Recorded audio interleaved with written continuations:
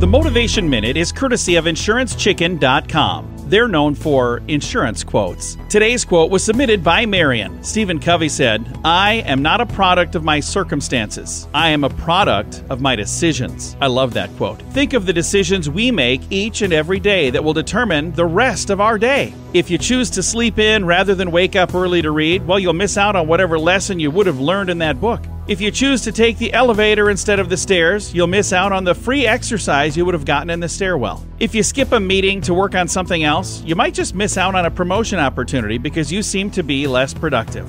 Our choices matter.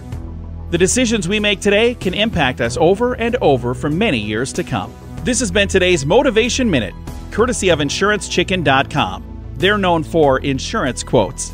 I'm John Small. Thanks for listening. Your favorite motivational quotes can be submitted for upcoming programs at motivationminute.org.